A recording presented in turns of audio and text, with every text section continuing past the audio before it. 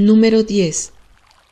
Su nahual o regente es Tezcatlipoca, humo del espejo. Su ave preciosa es la lechuza. Nombre náhuatl, Matlactli. Nombre maya, Lajún. Nombre quiché, Lajuj. Nombre totonaca, Cau. Nombre zapoteca, Tzi. Nombre mixteca, Ushi. Nombre otomí, Reta. El 10 representa la apertura de nuevos horizontes, la oportunidad y la esperanza.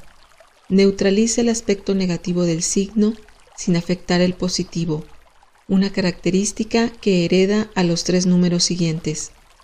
Su consejo es actuar de inmediato. El signo de casa es el tercero de la veintena. Su nahual o regente es Tepeyolotl, el corazón del monte. Se orienta hacia el oeste. Su elemento es el agua y su color el negro. Su horario de máximo efecto es el atardecer. Su componente humano, las emociones. Nombre náhuatl, Cali. Nombre maya, Akbal. Nombre quiché, Acabal. Nombre totonaca, Chicla. Nombre zapoteca, Chela. Nombre mixteca, Mao. Nombre otomí, Ngu. El signo de casa nos representa a nosotros mismos.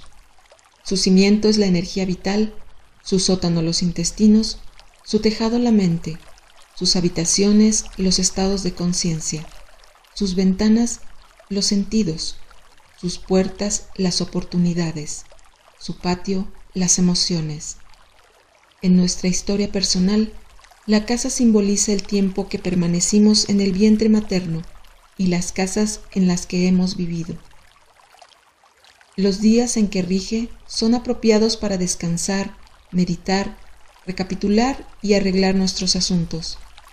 Los nacidos en casa son de naturaleza apacible, introspectiva, reflexiva, serena, servicial y amigable. Su resistencia y solidez les hace aptos para organizar empresas, sostener relaciones, armar un hogar y ofrecer sustento y protección a los demás. Tienen facilidad para la sanación, por lo que pueden ser buenos médicos. En el aspecto negativo, los casa tienden a forzar los límites y transgredir las reglas, a despilfarrar su energía y dejarse llevar por sus pasiones. Consejo tolteca. No te entregues al sueño, no te dejes sugestionar por los sueños. Controla la imaginación y analiza con racionalidad. Atrévete a salir de casa, a probar nuevas experiencias y a cambiar. No te entregues irreflexivamente a tus impulsos sexuales y ahorra tu energía.